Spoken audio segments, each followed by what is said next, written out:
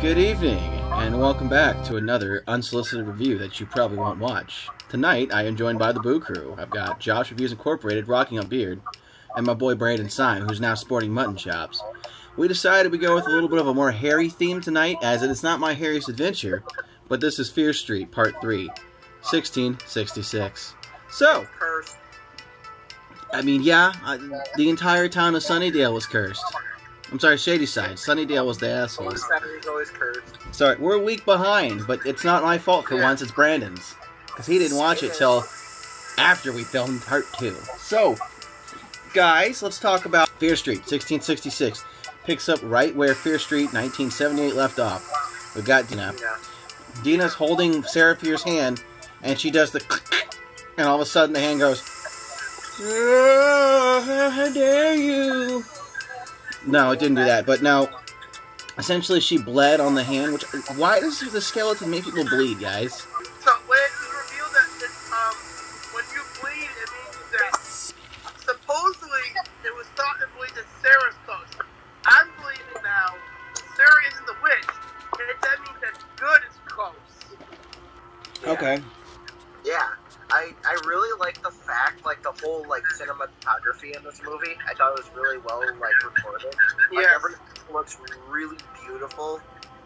in its own disgusting way. The way, the way 1666 was portrayed and how the homes were portrayed is very historically aesthetic to what early settlers would have been like in America. That and I also okay. The thing that I really liked is like the whole scene in the church with uh, the guy that was had the missing eyeballs. Oh, The pastor. That was disgusting. Oh my Yeah. god. That was hardcore. yeah, that was, It was hardcore great. There was a lot of rich lore. I like that they used the old actors and actresses from the other ones to portray people there. Um, I figured it out. So, probably uh, the time that she had been already caught, you know, with her girlfriend, the pastor's daughter, she was talking to what's his face, and he's like, "One does only invite the devil in. He must extend the hand." And the moment he said that, I was like, "Oh my god, it's him. He's the one."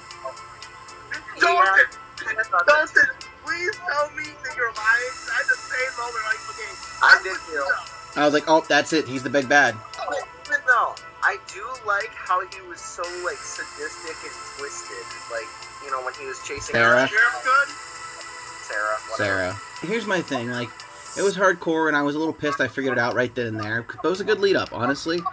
Here's my real biggest complaint. So,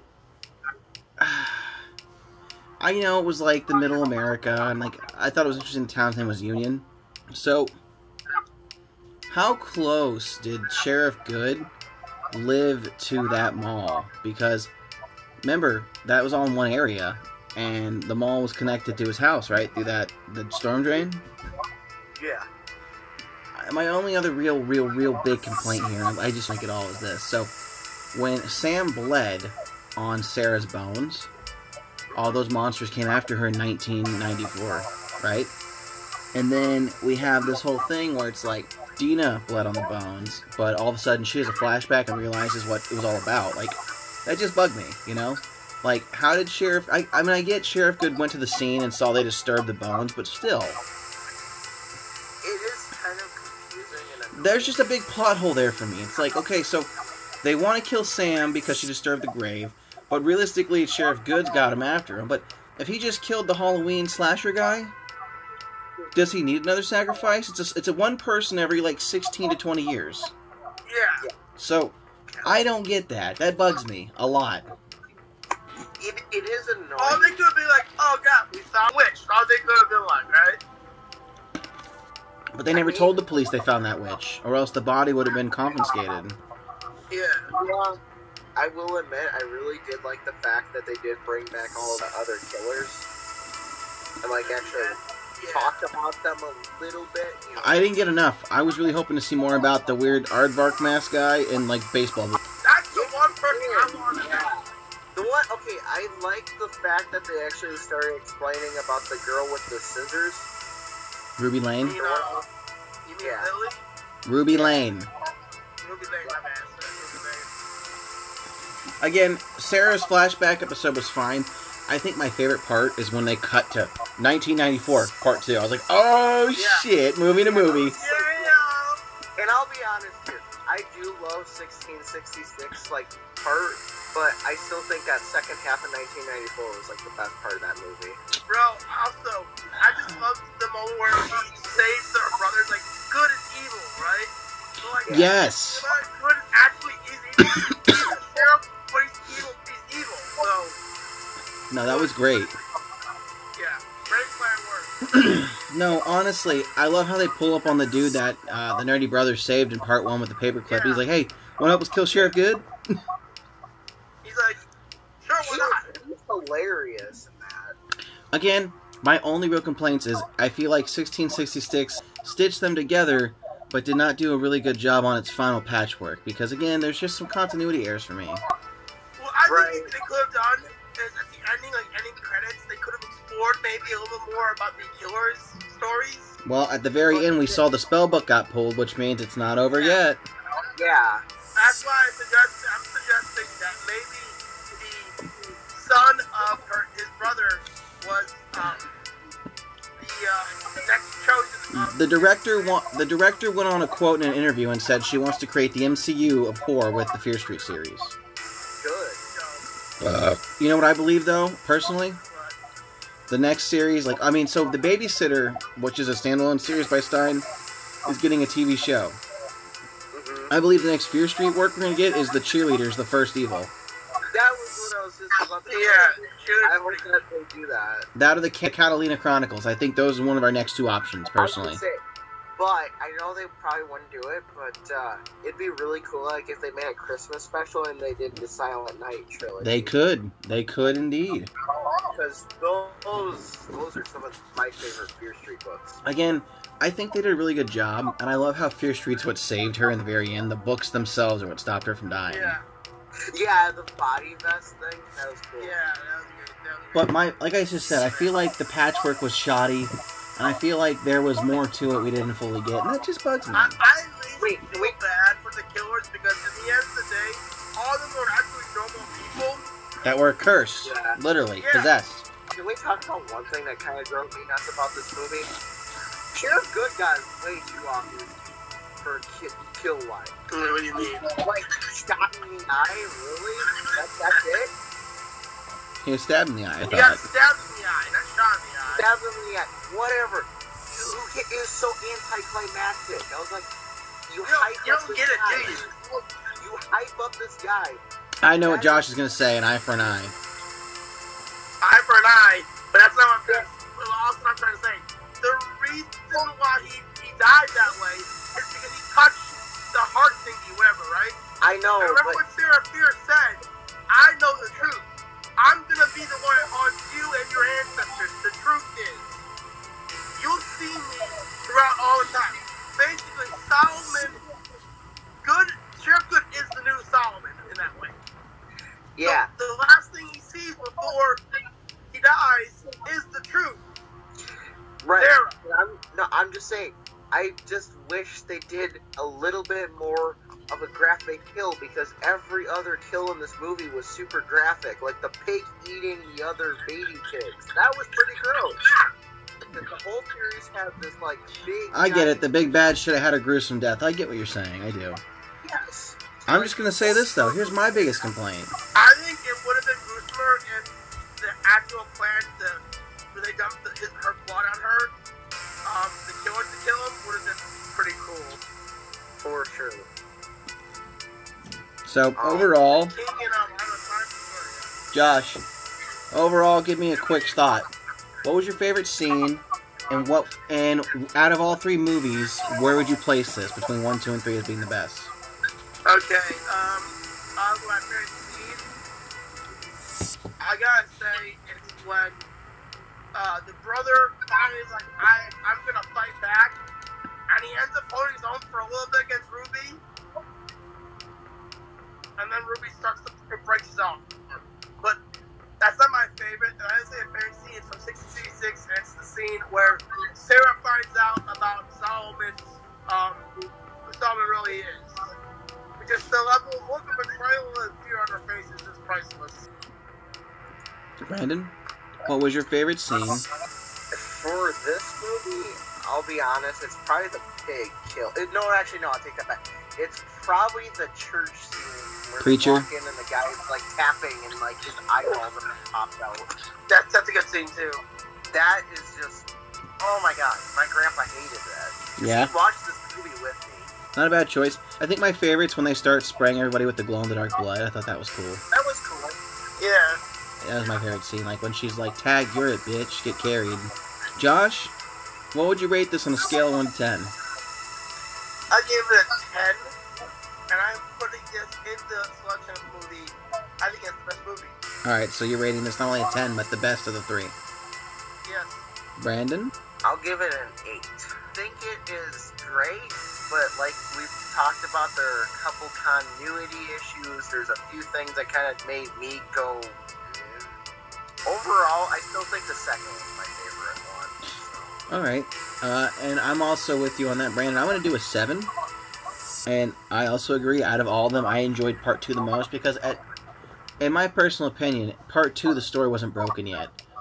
I like that Sarah Fier turned out to not be evil, but Yeah. people have touched the bones. Izzy touched the bone. Yeah. Again, and he even revived her. So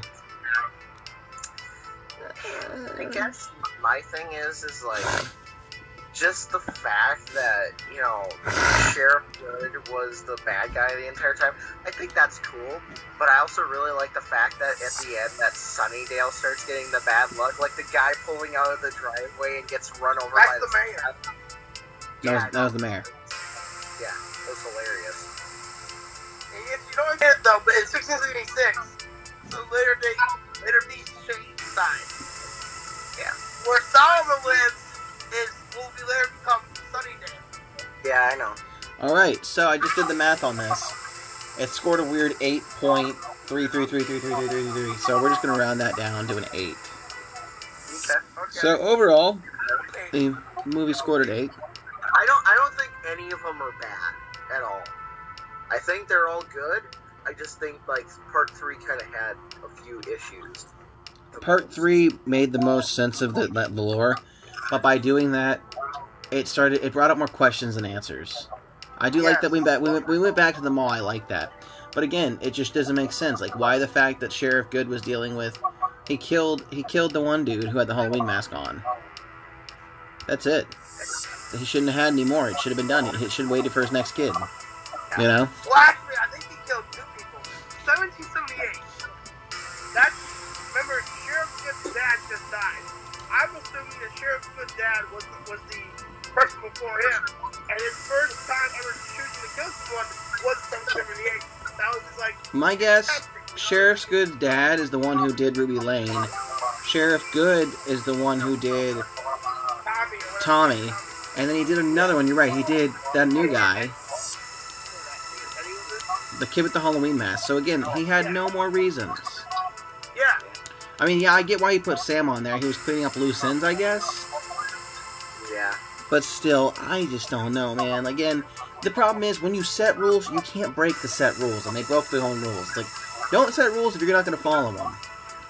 I'm like with Brandon. I, I enjoyed 78 the most. Camp. So, I'll, I'll be, Friday I'll be 13th. honest, dude, I'm, I'm, gonna, I'm gonna review these like on my own channel too, like soon, just like to get like my thoughts on all the movies. I'm gonna do a trilogy review. So Yeah. Alright, well, here's what we're going to do. We're going to pretty much final statements, Josh. just thought it was a good movie. Um, great period piece and great return to 1994. Brandon, the last final thoughts. That was a good movie. Glad that Fear Street was a lot better than any of the Goosebumps movies. Keep it up. I myself agree. I feel like we saw the real potential an R.L. Stine book can have when put in the right hands of the correct director, and you know they had fun with it. They know that there's a lot of fans, and this was a love letter to fans. And honestly, I hope to see more from the Fear Street verse or something. Just oh my God, please don't ruin New Goosebumps, guys. We, we, don't f- it up. We already have. Now that this is out, there's no reason to backstroke. Sony, take notes. Yeah. Alright, with that being said, this is the Boo Crew talking about the Fear Street trilogy. This was part three. It's out late. I don't give a shit. I work I work a lot, so if you don't like it, and why are you still watching this? Give me money, Nintendo. okay, Don't, don't get money from Nintendo. Bad Nintendo. give me money. I want the new Switch OLED, Nintendo. Give it to me.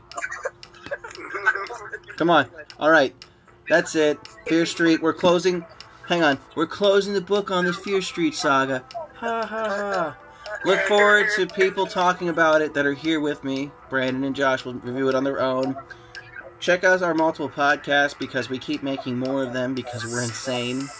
There's three of them between the three of us, so yeah.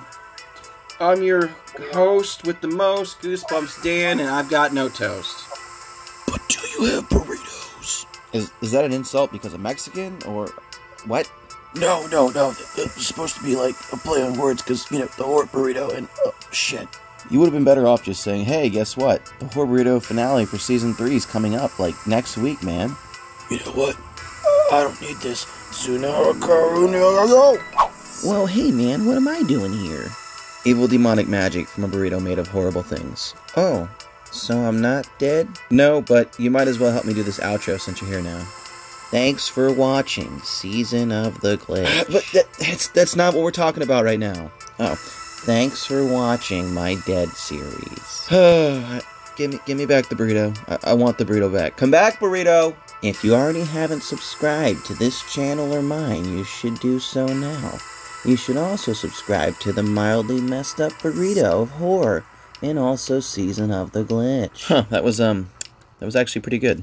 Subscribe to my canker. You ruined it. Get get the out. But I Nope, get out. We're done. It's done. I'm closing. Goodbye.